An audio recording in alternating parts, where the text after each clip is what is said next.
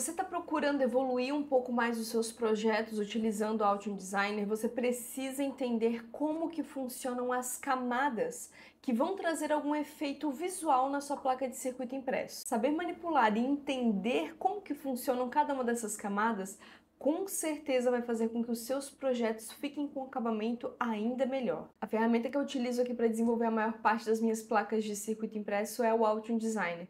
Ocean Designer é uma ferramenta extremamente profissional e ela é uma das mais utilizadas dentro do mercado de trabalho. O fluxo de trabalho dentro do Ocean Designer é integrado com algumas outras ferramentas que facilitam ainda mais o desenvolvimento das placas de circuito impresso, tornando esse um ambiente extremamente unificado e eficiente. Me permite tanto desenvolver os esquemáticos quanto os layouts das minhas placas de circuito impresso de uma maneira muito profissional. O Altium está conectado a uma outra ferramenta chamada Altium 365, que se integra perfeitamente ao fluxo de trabalho do Altium Designer.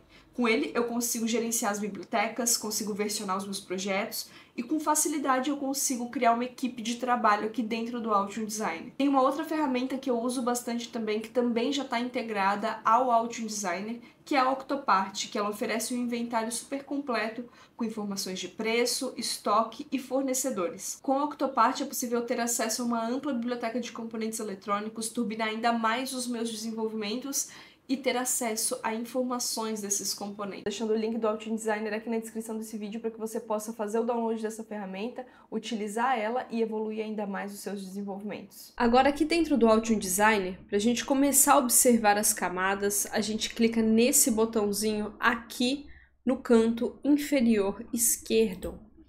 Nesse botão aqui, eu consigo ver todas as configurações de camada.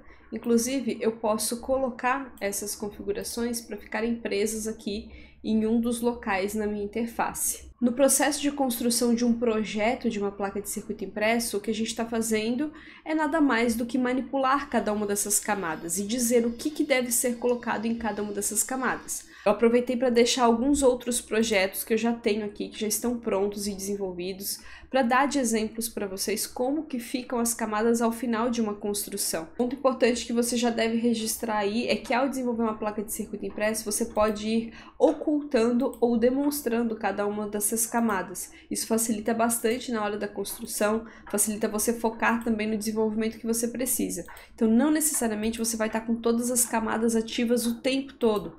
Trabalhe isso como um recurso para facilitar o seu desenvolvimento. Agora, com o meu projeto em branco, eu vou começar a te demonstrar aqui a manipulação de algumas camadas. A gente vai começar manipulando as camadas de sinal, top e bottom. Essas camadas elas trabalham a construção do cobre na camada top, a de cima da placa, e na camada bottom, no verso da placa. Então, como exemplo, se eu pego aqui e construo na minha camada top uma linha, olha só que interessante. Eu consigo observar essa linha aqui na minha placa de circuito em vermelho. E quando eu venho aqui na visualização 3D,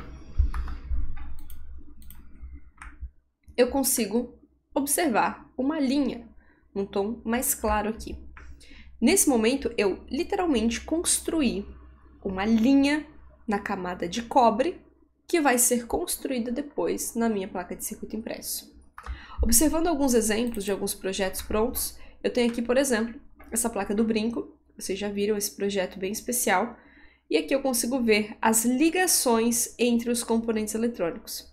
Você está vendo que, de fato, a gente constrói uma trilha de cobre e essa camada normalmente é utilizada para fazer exatamente isso, para fazer a ligação entre os componentes eletrônicos. A mesma coisa acontece, só que no bottom, se eu escolher a camada bottom layer. Agora, eu terei aqui uma camada em azul. E se eu venho na minha visualização em 3D, consigo ver as duas linhas aqui. Uma delas está mais evidente, outra está mais apagada. A mais evidente é a que demonstra que está no top, a mais apagada a que está no bottom. Se eu inverter a minha placa, aí a minha linha que está no meu bottom vai ficar mais evidente e a linha que está no meu top vai ficar mais apagada consigo visualizar isso aqui novamente acontecendo num projeto pronto, onde eu tenho aqui ó, as minhas trilhas bem evidentes que estão no top e aqui as minhas trilhas que estão no bottom, ó, entrando aqui por dentro dos componentes eletrônicos. Voltando para as nossas camadas, então, eu tenho a nossa camada de overlayer, tanto no top quanto no bottom. Essa camada aqui, ela vai determinar tudo que está desenhado, escrito em tinta na sua placa de circuito impresso. Então, novamente, eu posso vir aqui nas propriedades, fazer um risquinho aqui no meu top overlayer e já vou aproveitar também para fazer no bottom. Aqui. Na interface, são essas as cores que vão aparecer na interface de edição aqui da placa.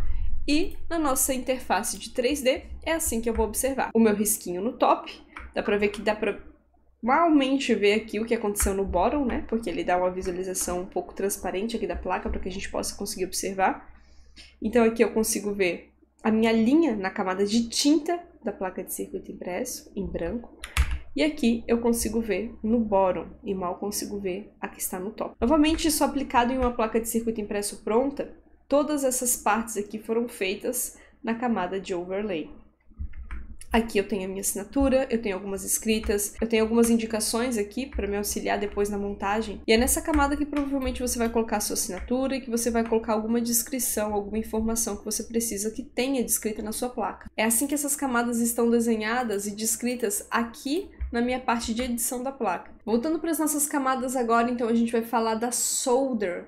Essa camada é muito interessante porque ela trabalha a camada de cobre exposto na placa de circuito impresso. É uma camada que comumente a gente vê sendo aplicada nos pads dos componentes eletrônicos. Você já deve ter observado nesse projeto aqui que eu abri para vocês que eu tenho algumas, alguns detalhes nesse projeto que eles estão com esse cobre exposto. Isso acontece porque na hora do desenvolvimento eu fiz esses desenhos aqui na camada solder para que a camada de tinta da placa não passasse por essas partes, que elas pudessem ficar expostas. Então vamos lá fazendo um teste na nossa camada top solder aqui.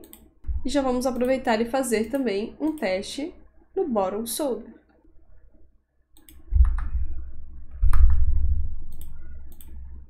E observando na minha placa, agora eu consigo ver esse tom acinzentado.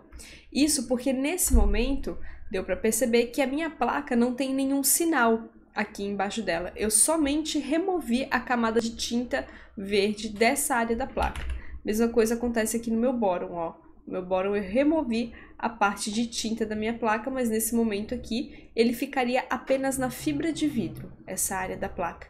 Lembrando que se você precisa de um acabamento um pouco mais elaborado, como por exemplo, eu preciso que o cobre apareça aqui na minha camada. Então eu preciso fazer a construção aqui dessa trilha de cobre e depois remover a tinta. Nesse vídeo eu tô passando um geral sobre o que faz cada uma das camadas, mas se vocês quiserem que eu mostre as combinações que eu mais utilizo entre essas camadas para trazer efeitos bem diferentes, já deixa aqui nos comentários que com certeza eu vou gravar um vídeo para vocês. Então nesse momento aqui a única coisa que eu fiz foi remover a tinta da placa de circuito impresso do top e aqui remover a tinta da placa de circuito impresso na parte do boro. Um exemplo de aplicação dessa camada foi nesse projeto aqui. Nessa parte das estrelas, eu mantive a camada de cobre da placa de circuito impresso, mas eu removi a camada de tinta. E aqui no centro, no desenho da árvore, eu removi tanto a camada de cobre quanto a camada de tinta, tanto do top, tanto do boro. Então olha só que efeito interessante que essa combinação gerou.